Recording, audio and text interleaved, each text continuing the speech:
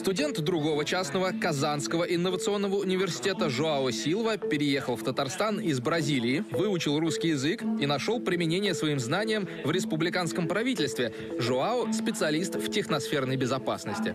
У нас ежегодно есть практика, и технологическая, и производственная практика от вуза. И туда нас отправили в Министерство экологии, нас отправили на стажировку.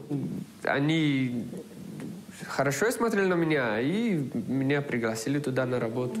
У учащихся в КИУ есть новый спортивный зал, общежитие, несколько зданий с лекториями в Казани и филиалы в пяти городах Татарстана.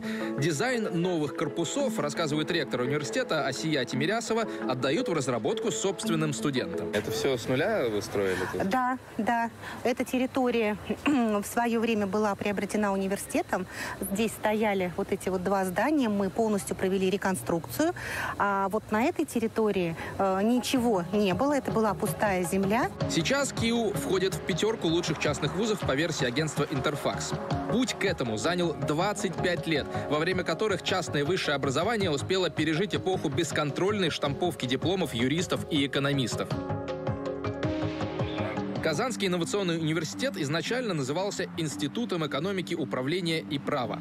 Ректор Асия Тимирясова вспоминает, что из-за большого количества схожих названий сильно страдала репутация вуза. И в Татарстане было достаточно таких вузов. Вы знаете, иногда можно было ехать по улице и увидеть вывеску на полуподвальном помещении, в котором было написано там институт или университет. Было просто неприятно, э, когда говорили, а вот где-то мы видели там похожую вывеску или еще что-то. Вот это кто такие? Вот. И действительно, эти вузы, они нанесли достаточно серьезный удар по имиджу негосударственного образования. Эпоха с девизом «главная корочка, а не знание» постепенно уходит. А для уважающих себя университетов, как государственных, так и частных, товарно-денежные отношения не главный приоритет. Частные вузы считаются некоммерческими организациями, и всю полученную прибыль они реинвестируют в образование.